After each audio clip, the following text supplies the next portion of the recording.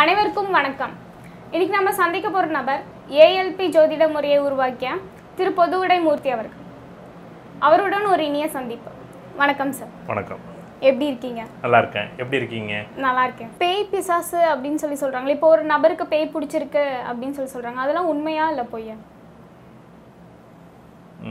கண்டிப்பாக இதெல்லாம் உண்மை தான் ஏன் அப்படின்னா எவ்வளோ உளவியல் ரீதியாக நம்ம வந்து இன்னைக்கு அறிவியல் எவ்வளோ வளர்ந்தாலும் எவ்வளோ மருந்து மாத்திரை சாப்பிட்டாலும் சில விஷயங்கள் வந்து ஆன்மீகத்தை ஒட்டி இருக்குது நிறைய விஷயங்கள் இருக்குது இதை வந்து நீ இப்போ நிரூபிக்க முடியுமா அப்படின்ட்டு கேட்டால் கண்டிப்பாக நிரூபிக்க முடியாது. ஏன்னா எனக்கு தோன்ற விஷயங்கள் இருக்கா? உன்னால் உணர முடியுமான்னா உணர முடியும். அதாவது அதை பற்றியான விஷயங்கள் வந்து நம்ம வந்து நிறைய விஷயங்கள் ஆய்வு பண்ணும்போது இருக்கா இல்லையா? இருக்குது அவ்வளோதான் அதில் வந்து நீங்கள் ரெண்டு விஷயம் கேட்குறீங்க இதிலே இந்த கேள்வியிலே தப்பு இருக்கும் அப்படின்னு நான் சொல்ல முடியும். ஏன்னா பேய்ங்கிறது வேறு பிசாசுங்கிறது வேறு. அதிலே பாசிட்டிவ் நெகட்டிவ்ங்கிற ஒரு விஷயமும் இதில் இருக்குது அதாவது அந்த ஆத்மாக்கள் என்ன பண்ணும் அப்படின்னா ஒரு ஆத்மாவாக தொடரக்கூடியது வந்து பேயின்னு சொல்லுவோம். அதுவே அந்த நிறைவேறாத ஆத்மாக்கள் அதாவது எதிர்பாராத இன்சிடென்ட்டால் வந்து அதாவது அதீத கோபத்தோடு இருக்கக்கூடிய வந்து பிசாசு அப்படின்னு சொல்லுவாங்க. அந்த அது சம்மந்தப்பட்ட நிறைய ஆய்வுகள் இருக்குது ஆனால் வந்து இது பேய் வேற பிசாசு வேறு இது ரெண்டும் இருக்கா அப்படின்னா இருக்குது அவ்வளோதான் இதில் வந்து இது எப்படி நீங்கள் உணர முடியும்? எப்படி இதை பார்க்க முடியும் அப்படின்னா இந்த ஆத்மாக்கள் இந்த கு- சுவாச காற்றுல சுற்றிக்கிட்டே தான் இருப்பாங்க. இந்த ஆத்மாக்கள் இருந்துக்கிட்டே தான் இருக்கும். நல்லது செய்கிறதும் கெட்டது செய்கிறதும் அவங்கள்ட்ட தான் இருப்பாங்க.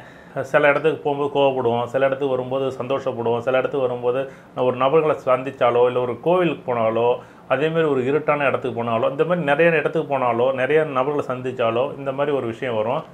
இதை ஒட்டிக்குமா? ஒட்டாதா? அப்படின்னா அதாவது அந்த நிகழ்வில் வரும் அந்த நிகழ்வில் போகும். ஏன்னா ஒரு உடம்புக்குள்ளே வந்து பார்த்திங்கன்னா பல ஆத்மாக்கள் வந்து குடியேறலாம் அது இருக்கலாம். அந்த நேரத்தில் ரெண்டு நிமிஷம் வரும் ரெண்டு நிமிஷம் போகும். இது வந்து இதை வந்து இப்பொழுதுக்கு நிரூபி நிரூபிக்க முடியாத சூழ்நிலையில் தான் இந்த இருக்காங்க.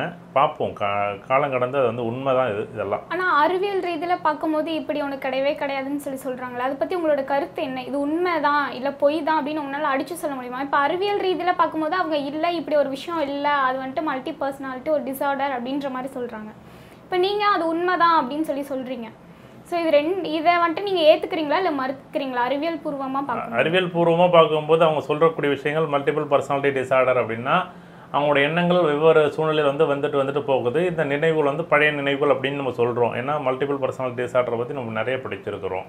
ஆனால் வந்து இந்த மல்டிபிள் பர்சனாலிட்டி டிசார்டர் வந்து எத்தனை பேருக்கு வருது அப்படின்னா யாருக்கு மனநிலை பாதிக்கப்படுதோ இல்லை உடல் பாதிக்கப்படுதோ அவங்களுக்கு மட்டும்தான் ம மல்டிபிள் பர்சனாலிட்டி டிசார்டர் வருது. இது எங்கேருந்து வந்தது? யார் வந்தது? எப்படி வந்துச்சு அப்படின்னா நீங்கள் என்ன வேணாலும் கதை சொல்லலாம். அது எங்கேருந்து அந்த நினைவுகள் எப்படி வந்துச்சு? அந்த உடல் ரீதியாக மன ரீதியாக அவங்க வந்து துன்பப்படும் போதோ இல்லை சந்தோஷப்படும் போதோ இல்லை தவறுகள் செய்யும் போதோ எனக்கு தெரியலை நான் பண்ணிட்டேன் அப்படின்னு சொல்லும்போது நிறைய விஷயங்கள் நம்ம பார்க்கலாம்.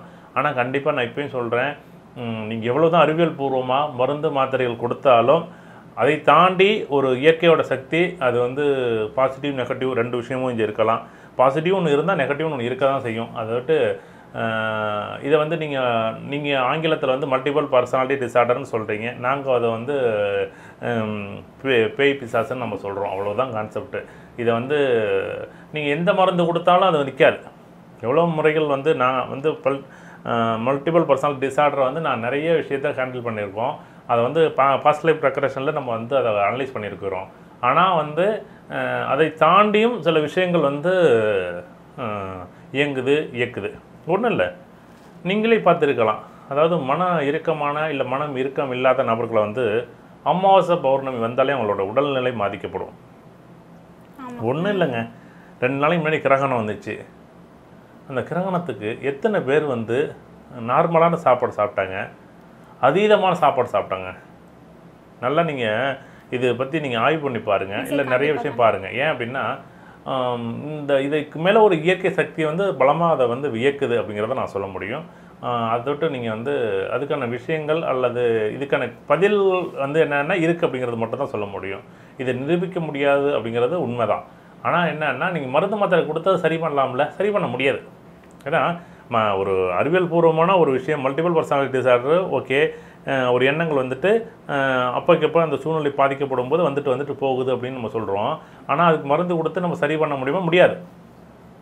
அதை கடந்த காலத்தில் போயோ இல்லை அந்த நினைவுகளை வந்து அழிச்சோ இல்லை அந்த நினைவுகளை வந்து மறுபடியும் மறுபடியும் தோன்றாத வகையில் வேறு ஒரு நினைவுகளை கொண்டாந்து பாஸ்ட் லைஃப் ரெக்ரஷன் இல்லை பாஸ்ட் லைஃப் தெரப்பியில் வந்து நம்ம சரி பண்ண முடியுமே தவிர அதுக்கு நிறைய விஷயம் பாதி பேருக்கு நடக்கலை பாதி பேருக்கு நடக்குது அப்படிங்கிற ஒரு விஷயமும் இங்கே இருக்குது ஆனால் தயவு செய்து வந்து இந்த அறிவியல் ஒரு எவ்வளோ நம்ம நிரூபிக்கப்பட்டதோ அதே மாதிரி இங்கே அறிவியலில் அறிவியலுக்கு அப்பாற்பட்ட இயற்கை சக்தி ஒன்று வந்து பாசிட்டிவ் நெகட்டிவ்னு இருக்குது அதை வந்து புரிந்தால் தான் அதை வந்து உணர்ந்தால் தான் அதை வந்து நீங்கள் அது அதுக்கான பதிலை நீங்கள் சொல்ல முடியும்? சரி இப்போ பேய் பிடித்தவங்கள வந்துட்டு ஹீலிங் தெரப்பினால கண்ட்ரோல் பண்ண முடியுமா? கண்டிப்பாக முடியாது. அது அவங்களுடைய அதாவது என்ன அப்படின்னா ஃபஸ்ட்டு ஒன்று ஒரு ரெண்டு நிமிஷம் நம்ம கே பேசுகிறத கேட்டாலோ இல்லை நம்ம ரெண்டு நிமிஷம் அவங்க பேசுகிறத வந்து புரிஞ்சுக்கிட்டாலோ கொண்டு வந்துடலாம். அந்த ரெண்டு நிமிஷம் வந்து அதாவது இப்போ நான் வந்து நூறு கிலோ தூக்க முடியும். இப்போ நீங்கள் வந்து இரநூறு கிலோ வந்து வெயிட் வச்சுருக்கீங்க அப்படின்னா நான் எப்படி தூக்க முடியும்? என்னுடைய சக்தி இவ்வளோதான் அப்படிங்கிற மாதிரி இயற்கைக்கு அப்பாற்பட்ட சக்திகள் வந்து அதை விட பெருசாக இருந்துச்சுன்னா அந்த ஹீலிங்கால ஒன்றும் பண்ண முடியாது. அதை விட நான் ஹீலிங் வந்து இன்னும் வந்து என்னுடைய ஆத்ம சக்தியை நான் பெருக்கி அதை விட நான் தாண்டி வச்சுருந்தேன்னா அந்த சக்தி என்கிட்ட வந்துச்சுன்னா ஆட்டோமேட்டிக் கண்ட்ரோல் ஆகும். அதுக்கு நான் பாசிட்டிவ் கொண்டு போய் சரி பண்ண முடியும். அதை விட நான் பலமாக இருந்தால் மட்டும்தான் முடியும். பலமாக இல்லைன்னா முடியவே முடியாது. சரி இப்போ ஹீலிங் தெரப்பி பற்றி நீங்கள் என்ன நினைக்கிறீங்க? அது ஒரு சக்ஸஸ்ஃபுல்லான ஒரு விஷயத்தை கொடுக்கும்னு நினைக்கிறீங்க கண்டிப்பாக கொடுக்குமே. ஏன் முடியாதுன்னு ஒரு விஷயம் இல்லையே? ஏன் அப்படின்னு ஃபஸ்ட்டு ஒன்றே ஒன்று தான் சொல்கிறேன் நீங்கள் உங்களுடைய இந்த பூத உடல் இருக்குது இந்த பூத உடல் பக்கத்தில் வந்து சூட்சம உடல் இல்லை சூழ உடல் அப்படின்னு நம்ம சொல்லுவோம். நம்மளுடைய ஆறான்னு சொல்லுவோம் அதை. இந்த ஆறா தான் நம்மளுடைய ஹீலிங் பயன்படுத்தக்கூடிய விஷயம். ஒரு நார்மலாக ஒரு மனிதர் இருக்கிறாருன்னா அதோடைய ஆறா எப்படி இருக்குது நார்மல் அதாவது மனநிலை பாதிக்கப்பட்டோ இல்லை உடல்நிலை பாதிக்கப்பட்டவங்களோட ஆறா எப்படி இருக்குது அப்படிங்கிறத வந்து நம்ம வந்து ஃபஸ்ட்டு செக் பண்ணுவோம். உண்மையிலேயே அவருக்கு வந்து ஆறா வந்து அதாவது அவருடைய சூழ உடல் அதாவது பூத உடல் பக்கத்தில் இருக்கக்கூடிய உடல் வந்து பலமாக இல்லைன்னு வச்சுங்களேன். என்ன பண்ணுவோம் அப்படின்னா உனக்கு வந்து இப்போ வந்து டைம் சரியில்லை. நீ வந்து மிகப்பெரிய அளவில் பாதிக்க போகிற அப்படின்னு உங்கள்கிட்ட ஒருத்தட்ட சொல்கிறேன் அதே இன்னொரு ஆள்கிட்ட சொல்கிறேன் எப்பா உனக்கு டைம் சரியில்லை உனக்கு இப்போ டைம் பாதிக்கப்படுவது பெரிய அளவில் பாதிக்கப்படுவது நீ எதுவும் செய்யாத அப்படின்னு நான் சொல்கிறேன் ரெண்டு பேர்ட்டையும் அதே வார்த்தை சொல்கிறேன் நீங்கள் என்ன பண்ணுறீங்க சரி என்ன நடந்தாலும் நடக்கட்டும் பார்த்துவோம் எல்லாம் மேலே இருக்க பார்த்துவோம் அப்படின்ட்டு நீங்கள் போய்ட்றீங்க. அவர் என்ன பண்ணுறாரு சுச்சோ அப்படியா? அப்படின்னு சோர்ந்து அவனே உட்காந்துடுறாரு இப்போ அந்த ஆறா பலமாக இருந்துச்சுன்னா அதாவது என்னுடைய சூட்சம உடல் பலமாக இருந்துச்சுன்னா எதையும் தங்களுடைய சக்தியை மனசுக்குள்ளே யதார்த்தமாகவே நடந்திருக்கும் வந்திருக்கும். அந்த என் கூட வந்து ஆறா சரியில்லை என்னுடைய சூட்சம உடல் சரியில்லை அப்படின்னா எதை சொன்னாலும் அப்படியா? ஒரு விஷயத்த கேட்டுட்டு அவ்வளோதான் அதோட அந்த அந்த நபர் வந்து உடஞ்சி அப்படி உட்காந்துருவார் அதோட தயவு செய்து வந்து ஒன்றே ஒன்று தான் சொல்கிறேன் இது நல்லது இது கெட்டதுன்னு நான் சொல்ல வரலை.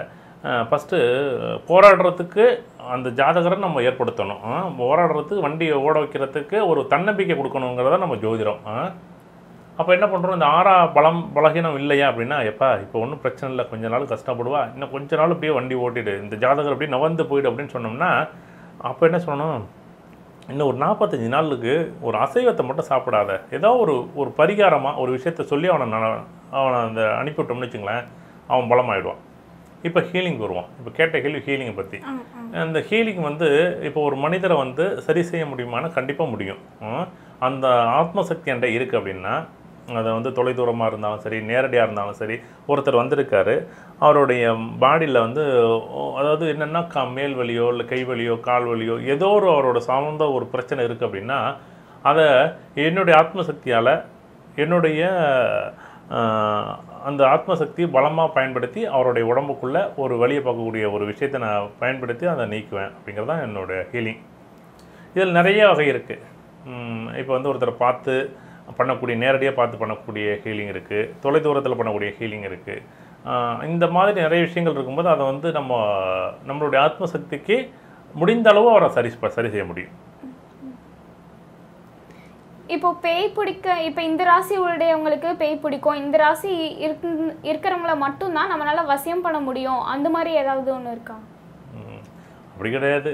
என்ன ஓட்டங்கள் அதாவது ச தசாபத்திகள் ஜோதிடத்தை தசாபத்திகள்னு சொல்லுவோம். தசாபத்திகள் வந்து பலமாக இருக்குது பலமாக இல்லை அப்படிங்கிற ஒரே விஷயந்தான் பலம் இல்லைன்னு வச்சுங்களேன் நைட்டில் வந்து இருட்டில் பன்னெண்டு மணிக்கு போனாலும் இப்போ ஒரு சின்ன இருட்டை பார்த்தா கூட பயப்படுவார். சின்ன இருட்டில் வந்து ஒரு மரம் ஆடினா கூட பேயாடுதுன்னு நினைப்பார். ஆ? பாதி பேர் இப்படி தான் இவங்க பேய்ங்கிறது ஒரு விஷயத்தை பார்க்க நானும் நம்ம பார்க்குறோம் பார்க்குறோங்கிறது அப்பாற்பட்ட ஒரு நிகழ்வு. ஆனால் பார்த்தீங்க அப்படின்னா இவங்க பாதி பயத்திலே தான் வந்து நொந்து நூலாகி பாதி பேர் போகிறாங்க இப்போ நான் சொல்கிற விஷயம் இருக்குது இருக்குன்னா இருக்கு அவ்வளோதான் அது பயப்படணும்னு தேவையில்லையே. அதை வந்து நமக்கு அப்பாற்பட்டவர்கள் நம்மளுடைய இறந்தவர்கள் நம்மளுடைய முன்னோர்கள் நினச்சிட்டு போயிட்டே இருக்கலாமே. பயப்பட வேண்டியது இல்லையே. யார் பயப்படும் அப்படின்னா அவங்களுடைய தசாபுத்தி அவங்களுடைய சந்திரன் அவங்களுடைய லக்கணம் ஐந்தாம் வீட்டு அதிபதி ஒன்பதாம் வீட்டு அதிபதி பலம் இல்லைன்னா கண்டிப்பாக பயப்படுவாங்க. அதான் சொல்கிறேனே சாதாரண இருட்டில் ஒம்பது மணிக்கு போகும்போது ஒரு மரம் ஆடுனுச்சுன்னா பேய் ஆடுதுன்னு சொல்லக்கூடிய உலகத்தில் நம்ம இருக்கிறோம். அந்த காலத்தில் இருட்டில் சொன்னோம் இப்போ இருட்டில் வெளிச்சத்தில் இருக்கிறவட்ட இப்போ பயப்படுறதில்ல. என்ன பாதிவே படத்தில் வரக்கூடிய நிறைய கற்பனையான உருவத்தை வந்து மனசுக்குள்ளே நினச்சிக்கிட்டு இது வந்து பேயாக இருக்குமோங்கிற மாதிரி கற்பனையில் நிறைய பேர் இருக்காங்க. இப்போ பார்த்தீங்கன்னா அதுக்கு தகுந்த மாதிரி படங்கள் நிறைய வருது இல்லை அந்த மாதிரி படத்தை பார்க்கும்போது பேய் இப்படி இருக்குமோ? ஒன்றும் இல்லை சின்னதாக ஒரு டம்ளர் கீழே ஒதுச்சுனாலே தொலைஞ்சு போச்சு. அவ்வளோதான் அப்போ கை கால்லாம் ஆடிப்படும் ஒன்றும் இல்லை. நீங்கள் ஒரு பட்டன் இருக்குல்ல அந்த பட்டன் வந்து என்ன பண்ணும்? சில பட்டன் லூஸாக இருக்கும் சில வீட்டில் அந்த பட்டன் என்ன பண்ணும்? ஒன்று லைட்டு டக்குன்னு எரிய ஆரம்பிச்சிடும் இல்லைன்னா காலிங் பெல் அடிக்க ஆரம்பிச்சிடும் இவ ஒரு படத்தில் பார்த்துருப்பான். என்ன பார்த்துருப்பான் அப்படின்னா ஒரு காலிங் முள் அடிக்கிற மாதிரி இருக்கும். அவ்வளவுதான். யாருமே இல்லை எப்படா காலிங் முள் அடிச்சிச்சு? லைட்டு எரியா நான் உண்மையில் நான் அனுபவப்பட்டிருக்கேன். என்னென்னா லைட்டு வந்து அந்த சுவிட்ச் வந்து லேசாக ஃபால்ட்டாக இருக்கும். அது என்ன பண்ணு நான் போட்டிருப்பேன். அழுத்தி படாமல் விட்டுட்டு நான் பாட்டு இன்னொரு லைட்டு போட்டு நான் போய் உட்காந்துட்டு இருப்பேன். ஒரு பத்து நிமிஷம் கழிச்சு அந்த லைட் எரிய ஆரம்பிச்சிடும் சுற்றி முற்றி பார்ப்பேன் யாருமே இருக்க மாட்டாங்க அந்த லைட் எரிய ஆரம்பிச்சிடும் சப்போஸ் அது எனக்கு தெரியும் அதை தொட்டு நான் வந்து அதை வந்து அனலைஸ் பண்ணியிருக்கேன். தெரியாதவங்க என்ன பண்ணுவாங்கன்னா ஓ இந்த மாதிரி கற்பனையாக வந்து நிறைய விஷயங்கள் பார்த்து பார்த்து இப்படியெல்லாம் வந்துச்சுன்னா லைட் எரியும் லைட் அணைஞ்சு அணைஞ்சு எரியும் சன்னல் வந்து டோர் வந்து அடிக்கும் அப்படியே ஒரு இயற்கை வந்து அப்படியே வந்து காற்றடிக்கும் ஒரு பொருள் வந்து கீழே விழும். இந்த மாதிரி நிறைய நிகழ்வுகளை வந்து நம்ம படத்தில் பார்த்துருக்குறோம் அந்த மாதிரி நிகழ்வுகள் வந்து நம்ம வாழ்க்கையில் அப்படியெல்லாம் ஒன்றுமே நடக்காதுங்க. அப்படியெல்லாம் எந்த பேய் பிசாசுகள் வந்து ஒன்றும் நீங்கள் வந்து அதெல்லாம் வந்து பயப்பட வேண்டியதில்லை. நம்ம வந்து தெரிஞ்சோ தெரியாமலோ தப்பு செய்யலை. இருக்குன்னு ஒரு விஷயம் இருக்குது அவ்வளோதான் இருந்தால் இருக்கட்டும். நான் இருக்கு அப்படின்னு சொல்லி நீங்க சொல்றீங்க. இவ்வளவு தூரம் அழுத்தி சொல்றீங்க. அதை நீங்க பார்த்திருக்கீங்களா? அதை சொல்லுங்க. அப்படியெல்லாம் கிடையாது. என்னன்னா எனக்கு அப்படி ஒரு சூழ்நிலை வந்துச்சுன்னா பார்ப்பேன் பேசுவேன் அவ்வளோதான் அப்புறம் எதை வச்சு நீங்க இருக்கு அப்படின்னு அழுத்தி சொல்றீங்க? அழுத்தமா சொல்றீங்க. என்கிட்ட இப்போ நீங்கள் நான் இருக்குது அப்படின்னு நான் பார்த்துட்டு நான் உங்கள்கிட்ட சொல்கிறேன்னு வச்சுங்களேன். அது என் கண் முன்னாடி காமிங்க நீங்கள் கேட்டால் கூட என்னால் காமிக்க முடியாது. அப்போ என் மனசுக்குள்ளே இருக்க விஷயம் வந்து இப்போ பார்க்கலாம்னு சொல்லி முடிச்சிட்டேன்னா அந்த விஷயம் அதோட முடிஞ்சு போச்சு. அதோட்டு தயவு செய்து வந்து நீங்கள் வந்து நான் பார்த்தா கூட அதை எடுத்து உங்கள்கிட்ட காமிக்க முடியாதுல்ல. இல்ல காமிக்க முடியாது. அவங்களுக்கு அந்த மாதிரி அனுபவம் ஏதாவது இருக்கா? இருக்கு. நான் நான் பார்த்திருக்கேன். அதனால நான் நம்பிக்கையோட சொல்றேன் அப்படின்னு சொல்லி அந்த மாதிரி ஏதாவது அனுபவம் இருக்கா? இல்லை எனக்கு மனசுக்குள்ள ஒரு அதீத நம்பிக்கை இந்த விஷயம் இருக்குது அவ்வளோதான் ஏன்னா ஒரு ஆயிரம் பேரை பார்த்துருக்குறேன். அந்த மாதிரி இந்த மாதிரி பே- பேய் பேய் பிடிச்சவங்க பிசாசு பிடிச்சவங்க. ஏன்னா நான் உளவியல் ரீதியாக நான் பார்த்தவங்களுடைய மனம் பாதிக்கப்படுது. அவங்களுடைய மூளையோட செல்கள் எப்படி பாதிக்கப்படுதுங்கிறது எனக்கு தெரியும். ஆனால் வந்து இந்த ஜா இந்த முறையில் பார்த்தீங்க அப்படின்னா கண்டிப்பாக வந்து இதுக்கு அப்பாற்பட்ட ஒரு நிகழ்வும் இதில் இயங்குதுங்கிறது என்னோட விஷயம். அது எந்த மாதிரியான நிகழ்வா இருக்கும்? ஒன்றும் ஒரு சவுண்டு கேட்டால் ஒரு இல்லை ஒரு உடுக்க சவுண்டு கேட்டால் ஆட ஆரம்பிச்சிருவாங்க. பார்த்தீங்கன்னா கோவில் போனால் ஆட ஆரம்பிச்சிருவாங்க. இது வந்து பார்த்தீங்கன்னா சில விஷயங்கள் வந்து தன்னை அறியாமல் செயல்படக்கூடியது நிறைய விஷயங்கள். பார்த்தீங்கன்னா அதிகமாக சாப்பிடுவாங்க. பார்த்தீங்கன்னா அதிகமாக பேச ஆரம்பிச்சிருவாங்க. நிறைய விஷயங்கள் வந்து அவருடைய முறுக்கத்தனமான ஒரு விஷயங்கள். இப்படி நீங்க உடுக்க சொன்ன உடனே எனக்கு ஒரு விஷயம் ஞாபகம் வருது. ஒரு சில பேர் இந்த கருப்புசாமி பாட்டு கேட்டா சாமி வந்துரும் உடுக்க சவுண்டு கேட்டா சாமி வந்துரும் அப்படின்னு சொல்லி சொல்றாங்களா? அதெல்லாம் உண்மையா? இல்ல அவங்களாவே அவங்களோட கற்பனை ரீதியா அவங்க அந்த மாதிரி கற்பனைன்னு நம்ம சொல்ல? முடியாது. நீங்கள் அது எப்படி கற்பனைன்னு சொல்கிறீங்க கற்பனையெல்லாம் கிடையாது. அவங்க என்ன செல் என்னன்னா நம்மளோட நியூரான் என்ன பண்ணோம்னா நம்மளுடைய அந்த சவுண்டை என்ன பண்ணணும்? முன்னாடி எடுத்துக்காட்டு வச்சுருக்கோம். அதாவது இந்த சவுண்டு வந்துச்சுன்னா என்னுடைய தசை நார்கள் என்ன பண்ணும்? தூண்ட ஆரம்பிச்சிடும் தூண்ட ஆரம்பிச்சோன்னா அதுவாக ஆட ஆரம்பிச்சிடும் நீ பத்து ஒன்றும் இல்லை. சாதாரண நீங்கள் வந்து பாட்டு கேட்கும்போது தாளம் போட ஆரம்பிச்சிருவோம். அதுக்கும் உடுக்கை சவுண்டுக்கும் அதே மாதிரி தான். இது பா பாட்டு கேட்கும்போது தாளம் போடுறதும் இங்கே உடுக்கை சவுண்டும் ஒரே சவுண்டு தான். என்னென்னா இந்த சவுண்டு சாந்தமான சவுண்டுங்கிறத விட நம்ம மெதுவாக அந்த டேபிள் மேலே கை வச்சு தட்டுவோம். தாளத்தை தட்டுவோம். உடுக்கை சவுண்ட் கொஞ்சம் அதீதமாக இருக்கும். அதோட எஃபெக்ட் அதிகமாக இருக்கிறதோட நம்ம கை கால் ஆட ஆரம்பிச்சிடும் அதை விட்டு வேகமாக நம்ம ஆட ஆரம்பிச்சிடுவோம் மற்றபடி ஒன்றும் அந்த அந்த அந்த அந்த ஓசைக்கு உள்ள நியூரான்களோட அமைப்பு அதிகமாக இருக்கும்போது அதை வந்து என்னென்னா உள்வாங்கியிருப்போம் அதை வாங்கி என்னுடைய நியூரான் என்ன பண்ணும்? இந்த சவுண்டு கேட்டோன்னே என் மனசு என்ன சொல்லும்? துடி துடிக்கும். எப்படியாச்சும் இந்த சவுண்டு வந்து எனக்கு கை கால்லாம் ஆட வைக்கும். இதை வந்து நான் பதிவு பண்ணி வச்சிருப்பேன் முன்னாடியே. எங்கேயோ ஒரு சவுண்டு கேட்டிருப்போம் எங்கேயோ பார்த்துருப்போம் எங்கேயோ பேசியிருப்போம் இல்லை தான் யார் சொல்லியாச்சும் கேட்டிருந்திருப்போம். எப்பா உடுக்க சவுண்டு வந்துச்சுன்னா எனக்கு கை காலெல்லாம் ஆட ஆரம்பிச்சிடும் அப்படின்னு கேட்டிருப்பேன். அப்போ நான் இன்னொரு நேரம் உடுக்க சவுண்டு வரும்போது என் கை காலெல்லாம் ஆட ஆரம்பிச்சிடும் எல்லாமே மனம் தான். இங்கே பேய் பிசாசு பில்லி சூனி எல்லாமே மனம் தான். நீங்கள் மனம் நல்லா இருந்துச்சுன்னா எல்லாத்தையும் தானே ஜெயிக்க வந்துடுவீங்க இல்லை மனம் சரியில்லைன்னா எல்லாத்து பின்னாடி போய் போய் போய் போய் போய் போய் போய் போய் மந்திர தந்திரம் தந்திரம்னு சொல்லி உட்கார வச்சு உட்கார வச்சு நீங்கள் வந்து பணமும் பொருளும் விரயமாகும் நல்லாள்கிட்ட போனால் தப்பிச்சுக்கிட்டாங்க. நல்லாள்கிட்ட போகலன்னா வச்சு செஞ்சு அதாவது மாட்டிக்குவாங்க அவ்வளோதான் உங்களுடைய மனம் நல்லா இருக்கணும். என்னுடைய மனம் என்னுடைய கண்ட்ரோலில் இருக்குது எனக்கு பிடிச்ச நான் சாப்பிட்றேன் சந்தோஷமாக இருக்கிறேன் அப்படிங்கிற ஒரு விஷயத்தை மட்டும்தான் நான் மறுபடியும் பதிவு பண்ண விரும்புகிறேன்